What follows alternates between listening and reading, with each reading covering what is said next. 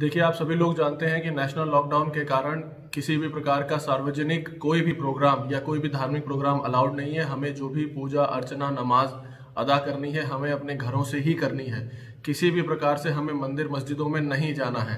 कल शुक्रवार है, शुक्रवार की नमाज़ के लिए, जुम्मे की नमाज़ के लिए मैं स्पष्ट रूप से सभी से अपील भी कर रहा हूँ और आप सभी को स्पष्ट रूप से बता भी दे रहा हूँ। सभी लोग नमाज़ अपने घरों से अदा करें। किसी भी प्रकार से किसी भी मस्जिद में जाने की आपको अनुमति नहीं है। इसी प्रकार से संक्रामक रोग कोरोना वायरस फैलेगा अगर हम इकट्ठे होंगे।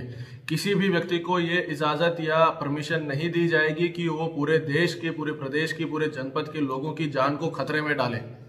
बिल्कुल स्पष्ट रूप से समझ लीजिए इस बात को कि किसी भी व्यक्ति को यह इजाज़त नहीं है कि वो किसी भी अन्य व्यक्ति की या पूरे देश समाज की जान को खतरे में डाले हम लोगों के इकट्ठा होने से, चाहे वो किसी भी चीज़ के लिए हो, ये संभावना बहुत तीव्र और बहुत बड़ी हो जाती है। अन्य देशों में जहाँ भी ये समस्या आई है, वो इसी प्रकार इकट्ठा होने से आई है। तो मेरा आप सभी लोगों से बहुत विनम्र निवेदन है, अपील है कि अपने घरों में ही नमाज़ पढ़ें।